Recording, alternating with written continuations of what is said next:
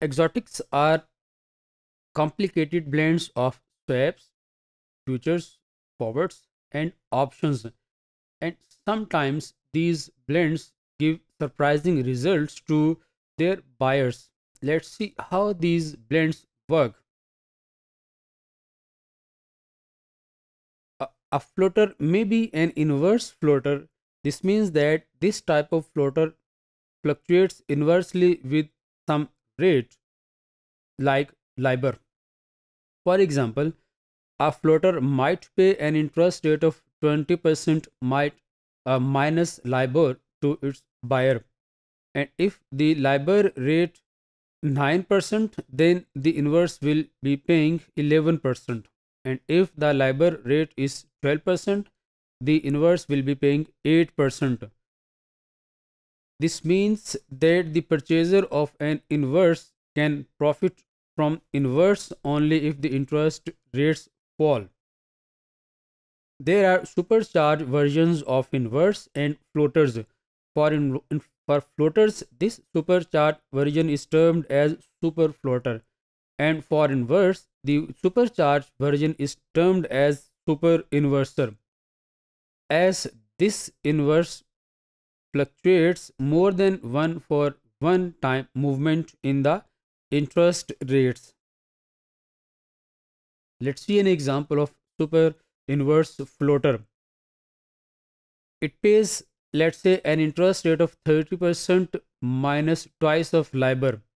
Now, if the LIBOR is 10%, then it will be paying 10%. And if the LIBOR is 7%, the inverse will be paying 16%, which is higher by 6% over our previous example. Sometimes uh, derivatives and options can be combined in order to bound the impact of interest rate within a certain range and these two bounds are termed as cap and floor.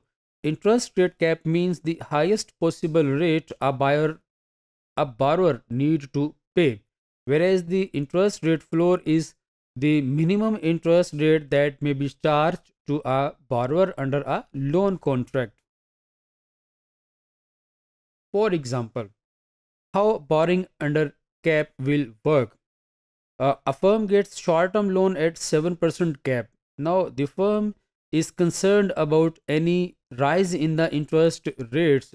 So uh, the firm goes for LIBOR as a reference rate of interest for the cap.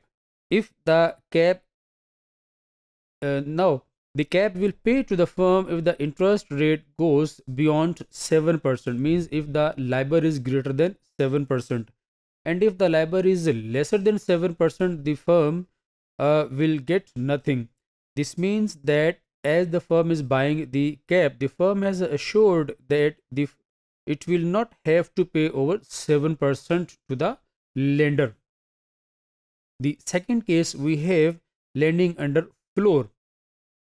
Let's see how this work for the lender. A bank is lending short term at 7% floor. The bank is concerned with the expected fall in the interest rates in the market. So the bank buys a floor to protect itself from such expected drop in the interest rates. At if the LIBOR is lesser than 7% means if LIBOR falls by uh, lesser than 7% the floor will be paying to the bank the differential amount. And if the LIBOR goes high over 7% the bank will receive nothing. This means the buying of floor by the bank has assured the bank that the bank will not receive interest lesser than 7% in this particular loan agreement.